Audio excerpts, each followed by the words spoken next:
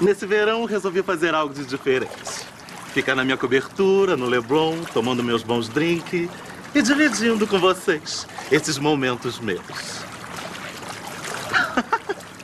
Bruna Marquezine, vizinha. A água está geladíssima. Vamos tentar mergulhar?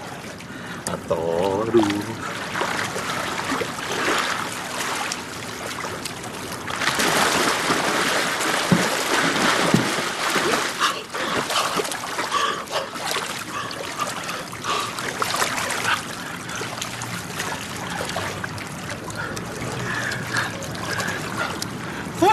Minha lente.